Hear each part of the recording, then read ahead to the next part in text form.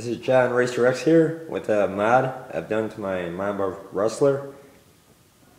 Another one you see is uh, pretty much a, a factory Rustler VXL. Uh, here's the mod I did to mine. Using a GT8 body. You can see the difference in size.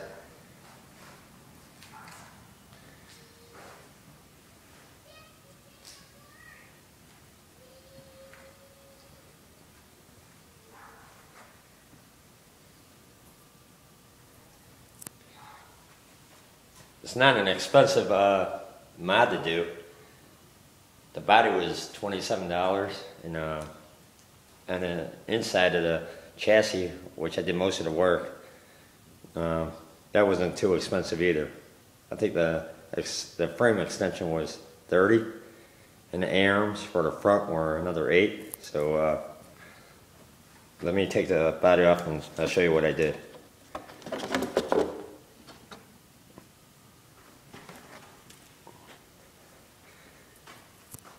Here you can see it, it's still a rustler, just like the stock one. Put them side by side.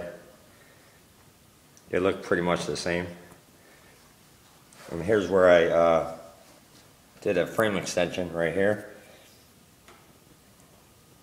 And there's a plate on the bottom. You can see it right there. That extends it to about two inches or so. Still have my motor and everything. Uh, I also added a, a holder for my GPS right there. And here's the front arms, which are the same ones in the back. So it widens it out.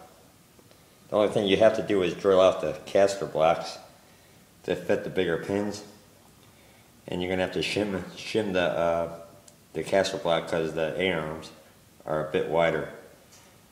You got to shim it at the caster block and at the uh, bulkhead to make it fit.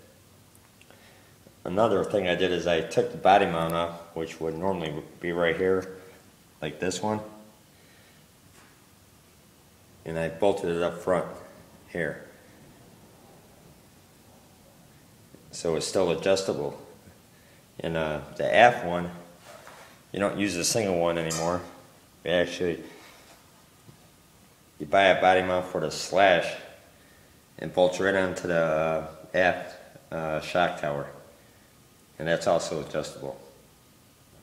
I took it out one time and that thing handles like a dream. So I think the total cost for the mod was about $70.